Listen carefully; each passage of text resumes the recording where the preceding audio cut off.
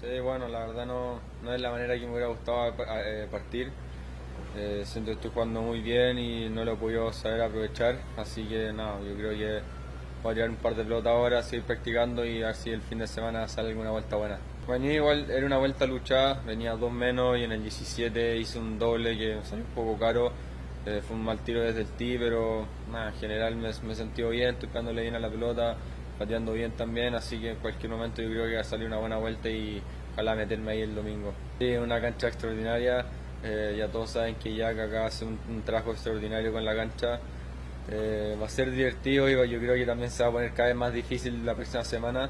Pero nada, feliz de estar acá. Muchas gracias Jack por tenernos aquí dos semanas y a disfrutar de los milkshakes.